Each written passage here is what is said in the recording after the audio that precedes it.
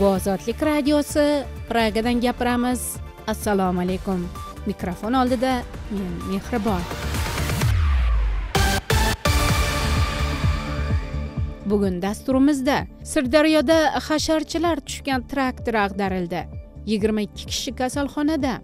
Toshkentdagi maktab o'quvchisi dars paytida fizika o'qituvchisini urib burnini sindirdi. Ota onalar majlisi chaqirdik. Bolaga nisbatan otasiga tushuntirish ishini olib bordik. Prokuratura adliya boshlig'i notarius yigitni kaltaklagani voqeasini o'rganmoqda. Orqamdan kelib bilan urdida tafsilotlar uchun to'lqinlarimizda qoling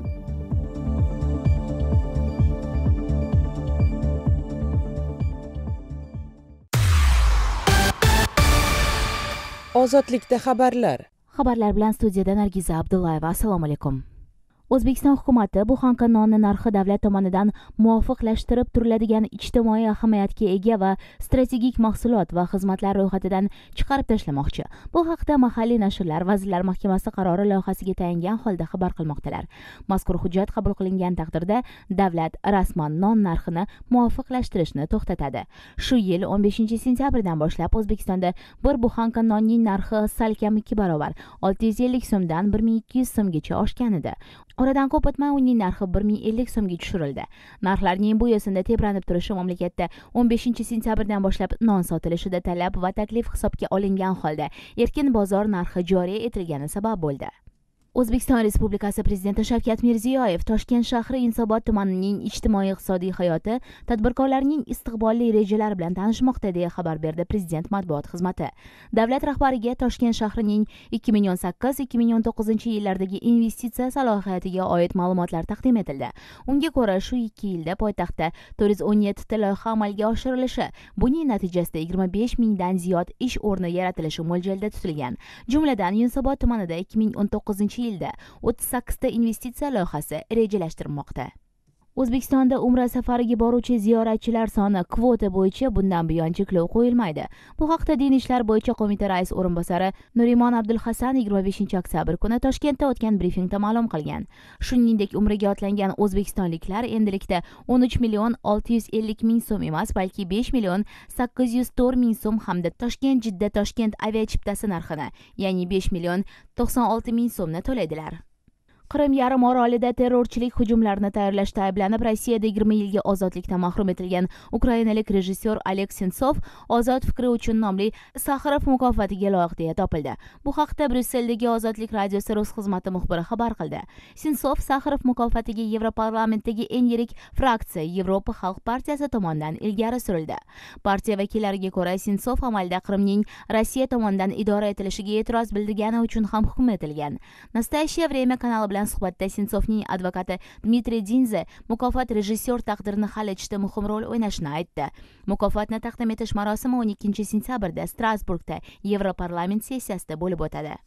Amerika qo'shma shtatlari prezidentining milliy xavfsizlik bo'yicha maslahatchisi jon bolton ikki ming sakkizinchi yilda gruziyaga qarshi urush olib borgani uchun amerika qo'shma shtatlari rossiyaga qarshi barcha sanksiyalarni qo'llagani to'g'risida aytdi. Yigirma oltinchi oktyabr kuni gruziya rasmiylari bilan bo'lib o'tgan uchrashuvlar ortidan so'zlagan bolton amerika qo'shma shtatlari gruziyaning hududiy birligi va mustaqilligini qo'llajagi to'g'risida bayonot berdi. Gruziya ikki ming sakkizinchi yilda rossiya bilan olib borgan qisqa urushi ortidan shimoliy osetiya hamda abxaziya ayirmachi hududlarini qo'ldan boy bergan. Rossiya esa abxaziya va janubiy osetiya mustaqilligini tan olib bu ikki hududda harbiylarni sonini oshirdi. Ammo aksar davlatlar abxaziya va janubiy osetiya mustaqilligini tan olmaydi va tbilisi kabi ular gruziyaning rossiya okkupatsiya qilib olgan hududlar deya hisoblaydi. Amerika qo'shma shtatlari rossiyaning birlashgan millatlar tashkiloti bosh assambleyasida sovuq urush davrida imzolangan yadroviy qurollar bitimini saqlab qolishni ovozga qo'yish harakatlariga to'sqinlik qilmoqda. Joriy haftada amerika qo'shma shtatlari prezidenti donald tramp amerika qo'shma shtatlari bir ming to'qqiz yuz sakson yettinchi yilda sssr bilan imzolagan yadroviy kelishuvdan chiqishini e'lon qilgan edi. Rossiya diplomatlarining aytishicha ular yigirma beshinchi oktyabr kuni bosh assambleyaning qurolsizlantirish qo'mitasiga o'rta va kichik masofada uchuvchi raketalarni yo'q qilish bo'yicha bitimni saqlab qolishga chorlovchi rezolyutsiyaning ilk nusxasini taqdim etishgan. Ammo amerika qo'shma shtatlari rossiya bunday rezolyutsiyalarni o'n sakkizinchi oktyabrgacha topshirishi kerak bo'lganini aytib qarshi chiqqan. Xabarlar bilan tanishdingiz. Boshqa yangiliklar ozodlik nuqta org saytida.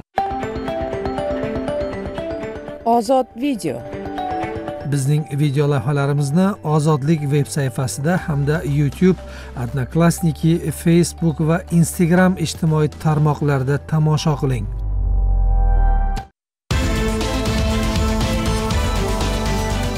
O'zbekiston paxta mavsumi. Sirdaryo viloyatining mirzaobod tumanida paxta ortilgan paxta ustida esa hasharchilar bo'lgan traktor pritsepi ag'darilishi oqibatida o'ttizga yaqin odam jarohatlandi. Tafsilotlar bilan hurmat bobojon. Jarohatlanganlar guliston shahridagi shoshilinch tibbiy yordam markaziga yotqizildi. Mirzobod tumani hokimligi va ichki ishlar bo'limi rasmiylari ozodlikka halokat yuzasidan tekshiruv olib borilayotganini aytdi. Yigirma beshinchi oktyabr kuni yuz bergan halokat guvohlarining aytishicha paxta tashiydigan traktor ag'darilishi oqibatida pritsep ustida bo'lgan o'ttizga yaqin hasharchi jarohatlangan. Guvohlardan biri ismi ochiqlanmasligi sharti bilan ozodlikka shularni aytadi. Traktor pritsepi paxtaga to'la uning ustida taxminan o'ttizta hasharchi ketayotgan edi. Traktorchi birdaniga rulni o'ng tomonga burib yubordi. Pritsep boshqa tomonga og'ib ustida o'tirgan hasharchilar bilan ag'darildi dedi voqea guvohi. Halokat oqibatida pritsep ustida bo'lgan hasharchilar turli jarohat olgan. Shulardan yigirma ikki nafari guliston shahridagi shoshilinch tibbiy yordam markaziga yotqizildi. Shifokorlarga ko'ra ularning hayoti xavf ostida emas shoshilinch tibbiy yordam markazi shifokori yaralanganlarni kecha olib kelganini tasdiqladi. Boshi yorilgani bor oyog'i singani bor hammasiga lozim yordam ko'rsatilyapti hayoti xavf ostida emas dedi shifokor. Mirzobod tumani ichki ishlar bo'limi xodimi traktor halokati yuzasidan tekshiruv ishlari olib borilayotganini aytdi. Haydovchi men hasharchilarni mindirmaganman o'zlari pritsepga chiqib olishgan deyapti. Hasharchilarning o'zlari ham bir daladan ikkinchi dalaga o'tishda piyoda yurishga erinib shu traktor pritsepining ustiga chiqib olishganini aytishyapti dedi militsiya bo'limi mulozimi. Shu kunlarda paxta yig'im terimiga o'zbekiston bo'ylab ommaviy safarbarlik e'lon qilingan. Har yilgi paxta mavsumida bo'lgani kabi bu yil ham terim kompaniyasi halokatlarsiz bo'lmayapti. O'n birinchi oktyabr kuni jizzax viloyatining sharof rashidov tumanida terimchilarni paxta dalasiga tashiyotgan isuzu rusumli avtobus halokatga uchrashi oqibatida o'n to'qqiz odam jarohatlangandi. Sentyabr oyida buxoroning kogon tumanida yo'lovchi avtobusining portlashi natijasida besh kishi qurbon bo'lgan yigirmadan ortig'i yaralangandi. Ayrim mustaqil manbalar xabar tarqatganidek avtobusda paxta terimchilari bo'lgan. Lekin hukumat rasmiylari avtobus mardikorlarni makka jo'xori terimiga olib borayotganini bildirgan edi. Facebook lentasida ozodlik maqolalarini nafaqat o'qishingiz balki fikr bildirishingiz muhokama qilishingiz do'stlaringiz bilan o'rtoqlashishingiz mumkin. Audio suhbatlar video lavhalar ozodlikning facebook lentasida sahifamizni lotin imlosida ozodlik radiosi deb izlang.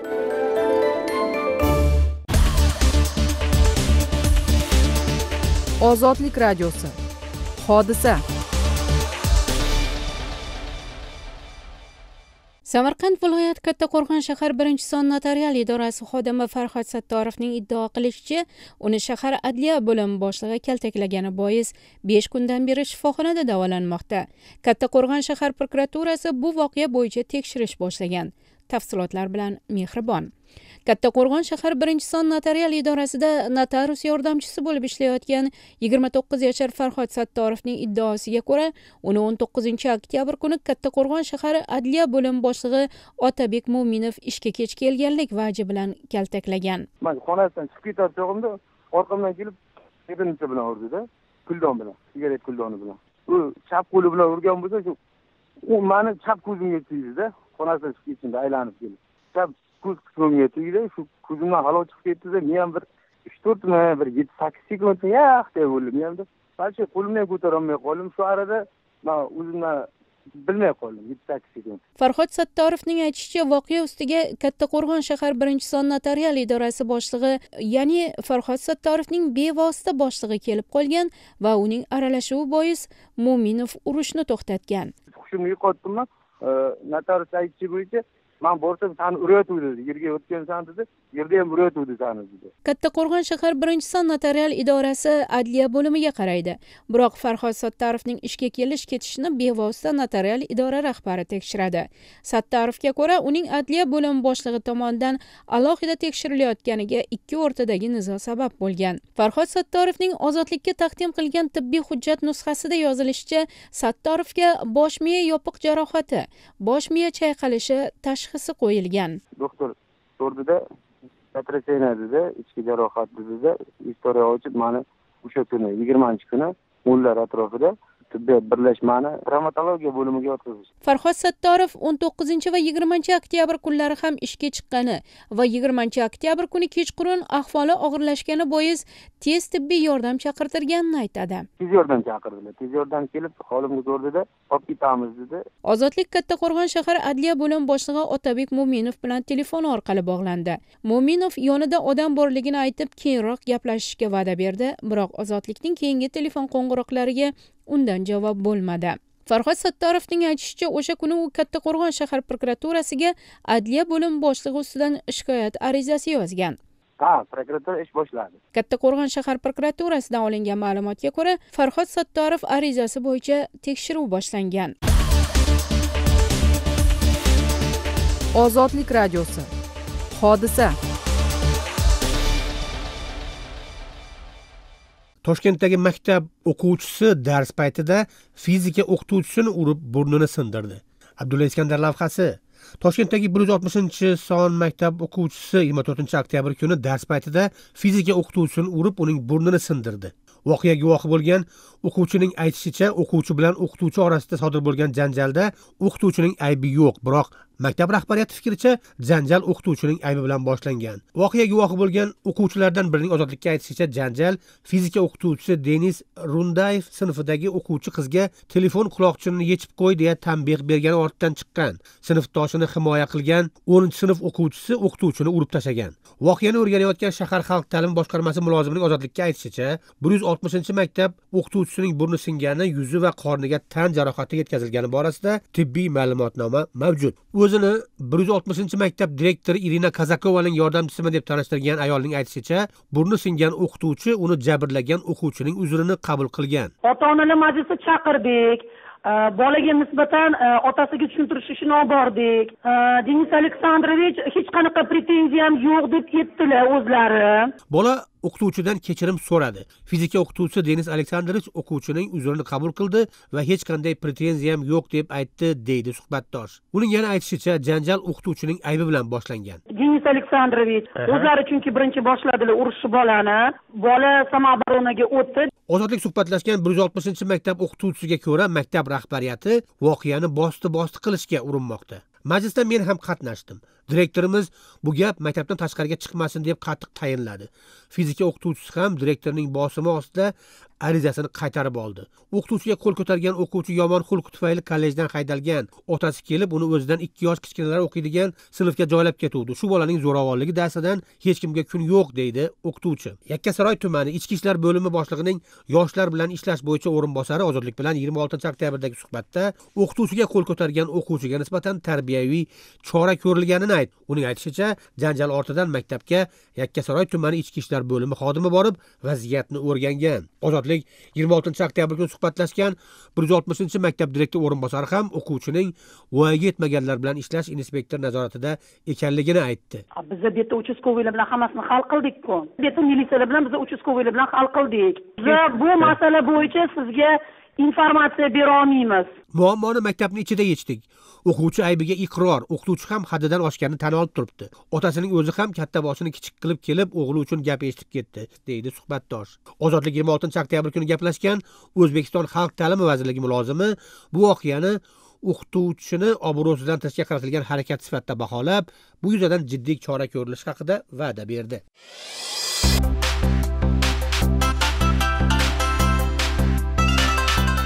Ozodlik eshittirishlarini 24 soat davomida ozodlik saytida ozodlik radiosi tunin radiosi va boshqa radio ilovalarda aziasat 3d hotbird 8 sun'iy yo'ldoshlarida uzluksiz tinglashingiz mumkin.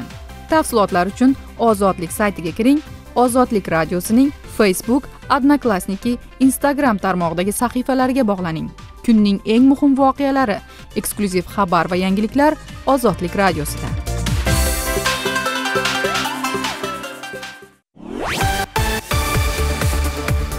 Ozodlikni tinglayapsiz dasturimiz davomida.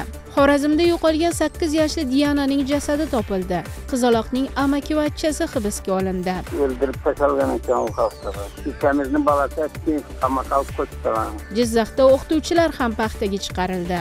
Garajda yashayotgan jizzaxlik ayol uy so'rash uchun mirziyoyev kelishini kutmoqda ko'p murojaat qildik. O'zimiz hokimga tuman hokimi viloyatlarigacha borib baribir yordam qo'lini cho'zishmayaptida. Atom elektr stansiyasi o'zbekiston zulmatini yorita oladimi?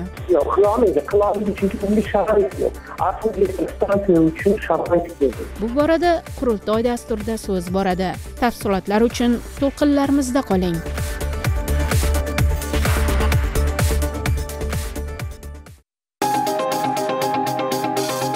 ozodlikka tinglovchilardan kelayotgan eksklyuziv xabarlar. Qarshi shahri suv yo'qligiga odamlar bir birini urib talab вообще ishkal bo'lyapti guvohlar hikoyasi. Bir xil bolalar siyroq bo'lib qolgan. Qo'rquvdan haligi ota ona buni bilmaydi. Javobsiz shikoyatlar. Partiyaga chiqdim qog'oz yuboradilar amalda hech gap yo'q. Faollar kuzatuvi. Hokim pensionerlardan shularga moddiy yordam deb pul yig'ib olgan ziyolilar munosabati mirziyoyevning qilmoqchi bo'layotgan narsasi xalqqa yuzlangan mo'tadil avtoritarizm haqida gapirdi kundalik ravishda ushbu to'lqinda yoxud ozodlik org sayti va ijtimoiy tarmoqlardagi ozodlik sahifalarida.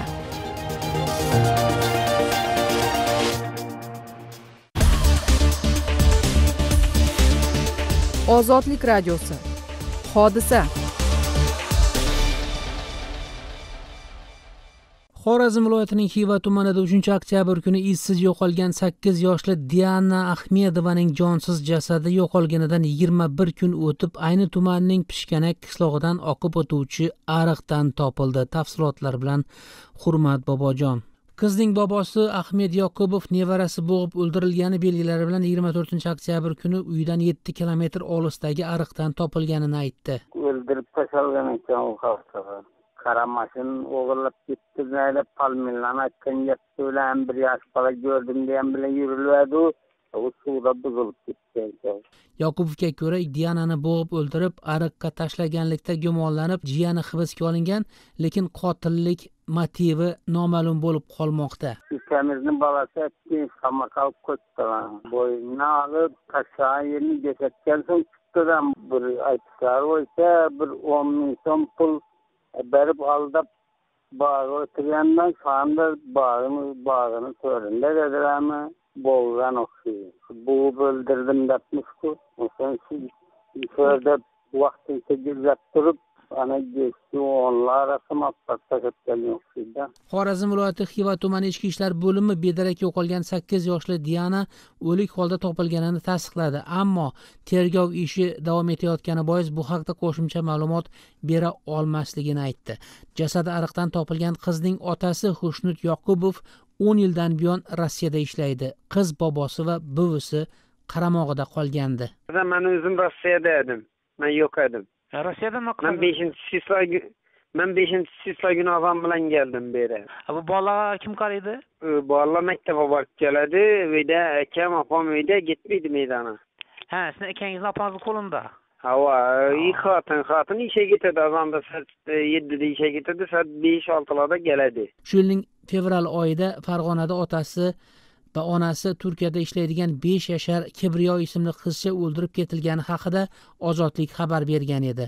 Guvohlarning ozodlikka aytishicha bolani bog'chadan oladigan odam bo'lmagach bog'cha opa uni boshqalarga boshqa bolalarga qo'shib uyga jo'natgan kechqurun bolaning jonsiz jasadi bog'chadan yetti kilometr naridagi poyezd yo'li yoqasida topilgan edi.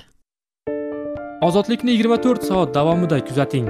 Agar mobil telefoningiz android tizimida ishlasa play market orqali ozodlikning ilovasini yuklab oling.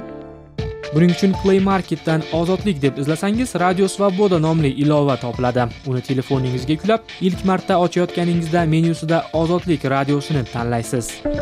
Mobil internet yoki wi fi bor joyda xohlagan vaqtda o'zbekiston va dunyo xabarlari dolzarb maqolalar audio foto va video materiallar bilan tanishing. Ozodlik radiosining jonli efirini o'tkazib yubordingizmi? Hech qisi yo'q. Ilova menyusidagi audio ruknida arxivdagi efirlarni sizga qulay vaqtda tinglashingiz mumkin. Ozodlik yigirma to'rt soat davomida siz bilan.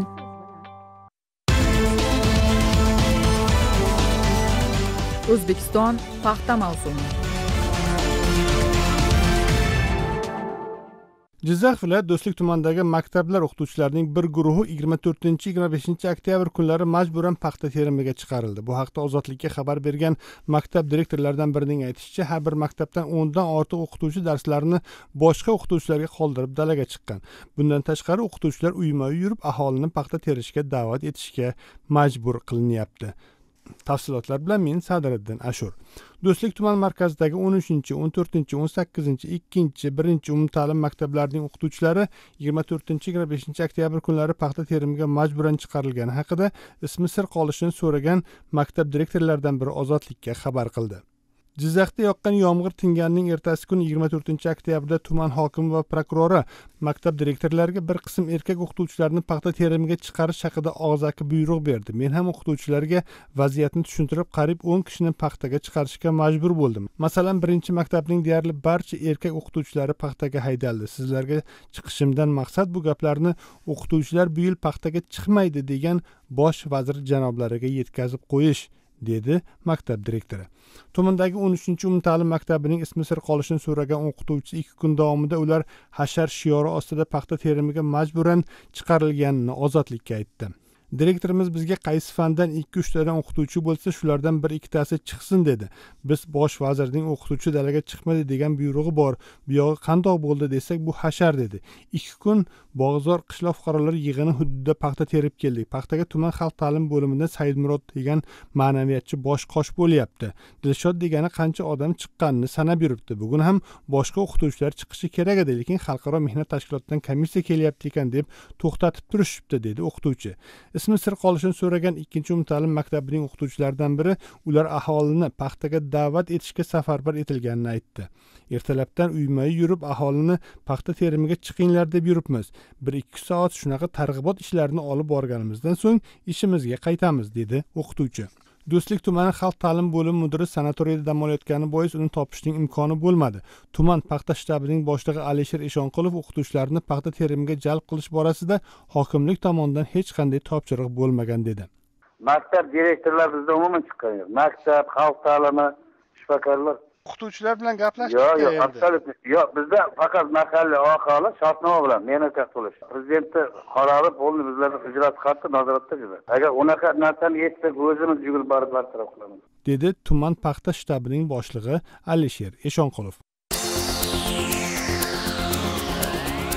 Ozodlikda kun davomida tinglayotganingiz xabarlar. Lavhalarning qisqa va lo'nda mazmuni yarim soatlik kundalik dastur ozod podkastda ozod podkastni har kuni toshkent vaqti bilan kechki soat yettidan yetti yarimgacha to'qqizdan to'qqiz yarimgacha qisqa to'lqinlarda.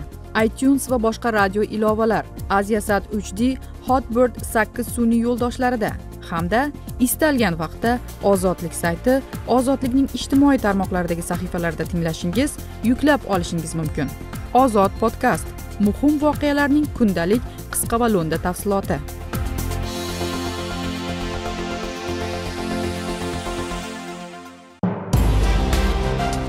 Ozod mikrofon xizmatingizga shay. Voqea hodisalar haqida xabar bering. To'rt yuz yigirma yetti yuz yigirma to'rt to'qqiz yuz yetmish bir besh yuz o'ttiz to'qqiz. To'rt yuz yigirma olti yuz ikki olti yuz o'n ikki yetti yuz o'n uch. Jizzax viloyati mirzacho'l tumani g'alaba mahallasidagi sobiq urug'chilik korxonasining garajida eri va ikki oylik chaqalog'i bilan yashayotgan lazzat norqulovaga ko'ra u prezident shavkat mirziyoyevning mirzacho'lga kelishini kutib yashamoqda. Yigirma uch yashar lazzat norqulovaning aytishicha uning oilasi kam ta'minlangan oilalar ro'yxatiga kiritilgan biroq mutasaddi tashkilotlar uning murojaatlarini bee'tibor qoldirmoqda. Oldin urug'chilik korxona bo'lgan keyin yopilib ketganmi hozir hech kim yo'q bu yerda faqat ga- nima garaji bor o'sha garajda bir xonasida turibmiz to'g'irlab. Birov ruxsat berganmi bu yerda turishga o'sha bir odamga iltimos qilgandik uy topolmaganimiz uchun kvartiraga sharoitimiz bo'lmagani uchun o'sha yerdan joy berishgan. Oldin qayerda yashagansizlar oldindan shu kvartirami u yoq bu yoqda turardik. Hozir o'sha endi oxirgisi mana kvartiralar qimmat bo'lib ketgani sababli hozir o'sha nimada turibmizda garajda. A u yerda e, turadigan joyingizda sharoitlar bormi? Poli boshqasi? Yo'q poli oddiy bunday qum qumdan qilingan sement e, palas qo'ysa nima deydi muzlatadigan darajada sovuq bu yerda. Sveti yo'q hozircha endi o'tkazamiz degan nimamiz bor edi. Sharoit bo'lmayapti. Oshxona ichxona yo'q hech narsa yo'qda bitta xonani o'zi. Bu narsa yashashga sharoit o'zimiz asta sekin ko'rpa to'shak degandek qil- qilganmiz. Qanchadan beri bu yerda yashaysizlar? Olti oydan oshib qoldi. Ovqatni qayerda qilasizlar o'choqda. O'choq bormi? O'zimiz ham to'rtta g'isht qo'yib qozon qilib endi to'k bo'lmagandan keyin plitka ishlata olmaymiz bu yerda. Qo'l bola o'choq qilgansizlar ha qo'l bola bolalaringiz bormi? Ha qo'limda chaqalog'im bor. Bu birinchi bolami? Ha birinchi bola. Necha oylik chaqaloq ikki oylik. Chaqaloqni sovuqdan qanday asrayapsiz?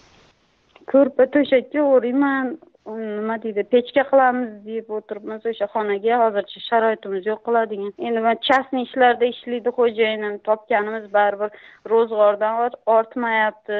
Shamollatib qo'yib aptekadan qarzga dori olib keldik. Chaqalog'ingizga nafaqa olasizmi? Yo'q yo'q berishmaydi bu yerda. Uchetga qo'yilmagan.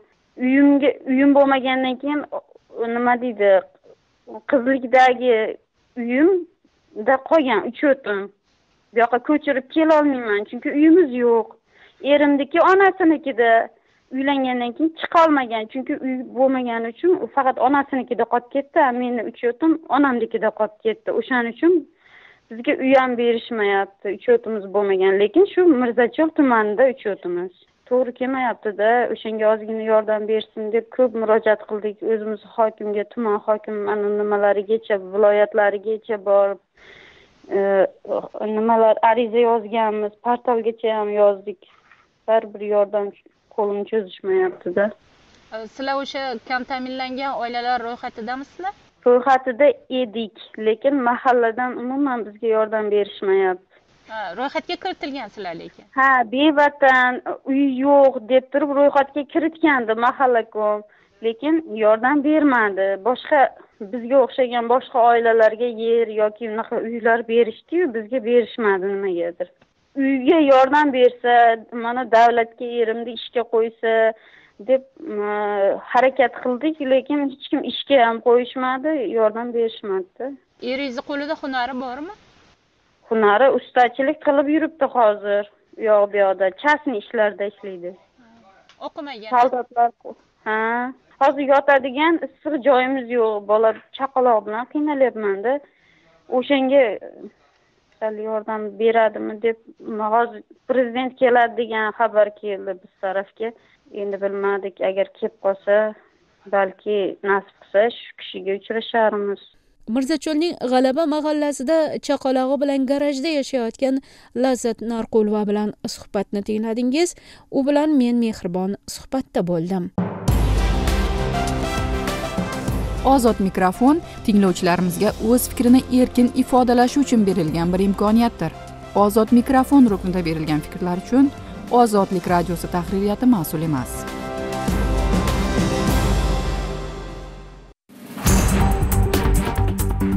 Favqulodda hodisalar. Aprel oyidagi sel natijasida sakkiz xonalik uy qulab tushgan bu voqeadan so'ng eksklyuziv xabarlar o'zbekistondagi abu sahiy mijozlari xorijdan yuborildi. Muhim voqealar. Ichki qo'shinlar nima uchun mxx ixtiyoridan chiqarilib ichki ishlar vazirligiga o'tkazildi? Va ularning jamoatchilik diqqatida qolayotgan qahramonlari. Aripovni bosh vazirlikka tavsiya qilgan prezident shavkat mirziyoyev jurnalistlarimiz surishtiruvi ozodlikda. Arizasi taqdirini birgalikda kuzatamiz. Ushbu to'lqinlarda tinglang ozodlik sahifasida o'qing